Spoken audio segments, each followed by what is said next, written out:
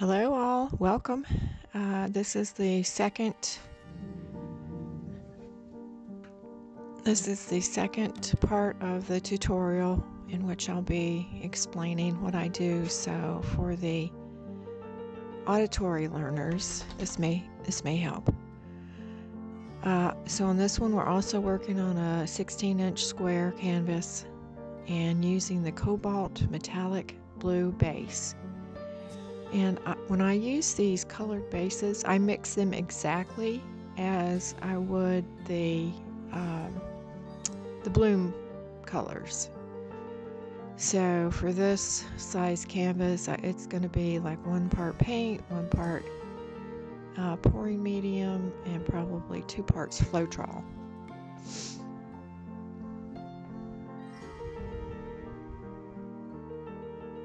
Just using the torch to pop the bubbles. Anytime you uh, mix paint or introduce air, uh, the bubbles form in the paint.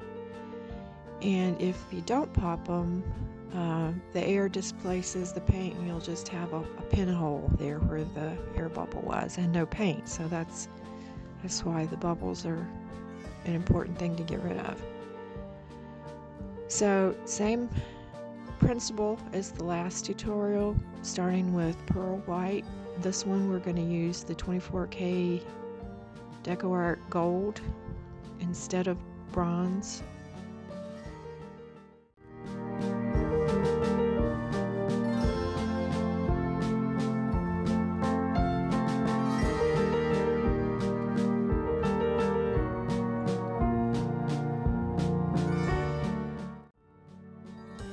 The layers end up being a little bit thinner when you do them with a, a stick rather than just pouring out the puddle.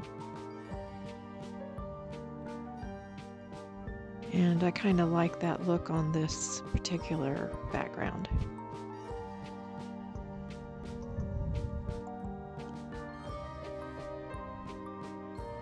Just going to put a stir stick of cell activator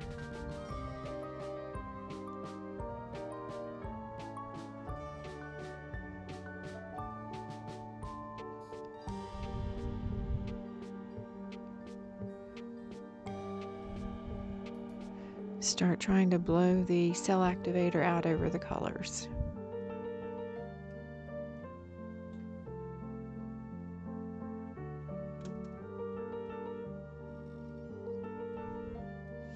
I don't even worry about how many petals or what they look like or any of that. We'll, we'll deal with that later.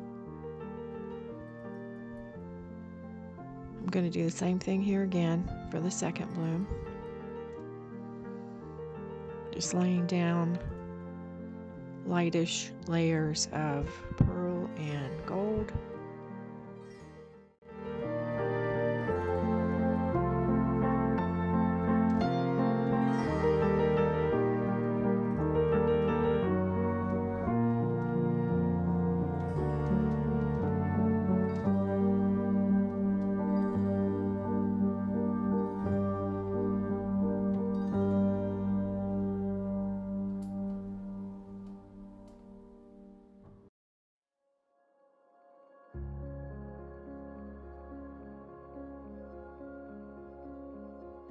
Have to remember to put the little bit of extra base around the puddle so that you can blow it out easily.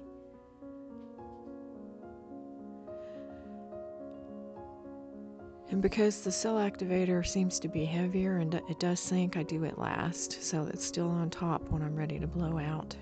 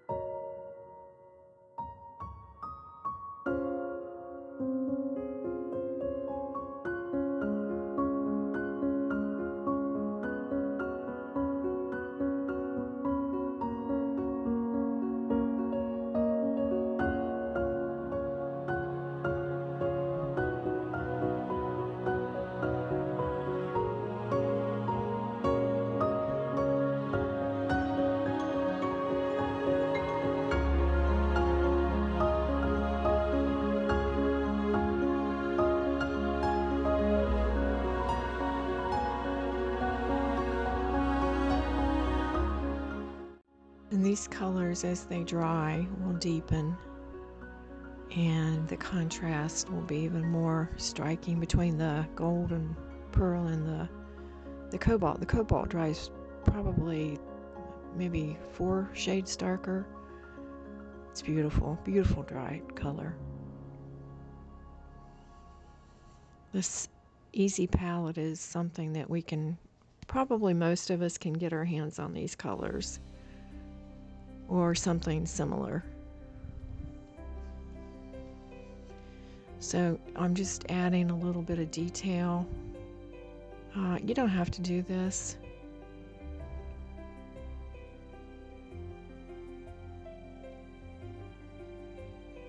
It helps, I, I think it helps a little bit when you do spin it out, kind of keeps them looking like something recognizable instead of just a blur of or blob of um, cells.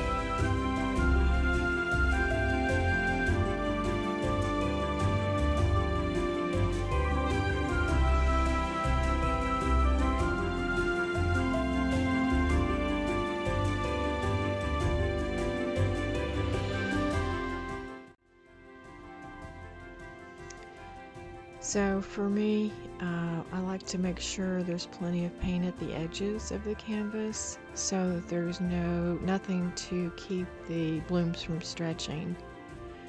Um, so if you've got dry canvas between your bloom and the, and the edge of the canvas, it will only go to the dry paint and won't go any further. So I like to make sure there's plenty, and I do on these little three three uh, bloom paintings, I like to see the blooms just go over the edge, not stretch, you know, unrecognizably, but just to go over the edge. I feel like that anchors them sort of to the canvas.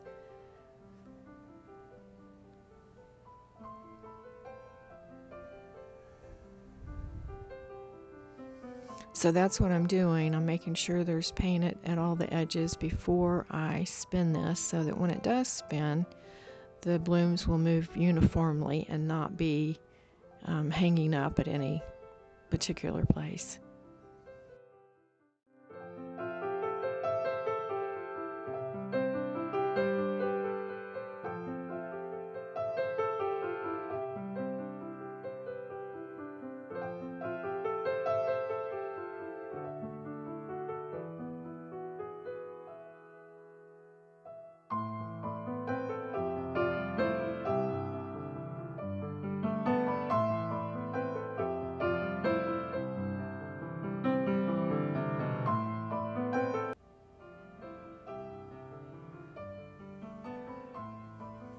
Torch it again for the bubbles, and then we'll spin it.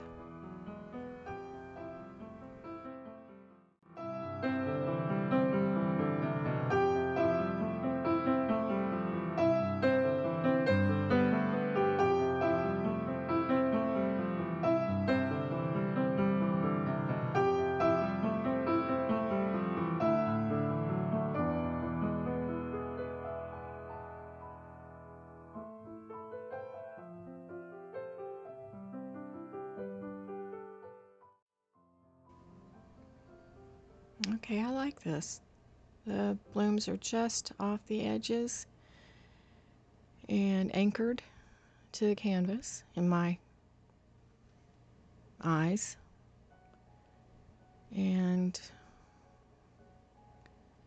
we'll let this thing dry. There's there's there's nothing to fix. I, lo- I like it the way it is, so just leave this one alone and take you in for a close-up and you can see what it looks like and then uh, stay tuned for the dried results at the end And thank you so much for being here. I really appreciate every one of you. Uh, makes the work worthwhile.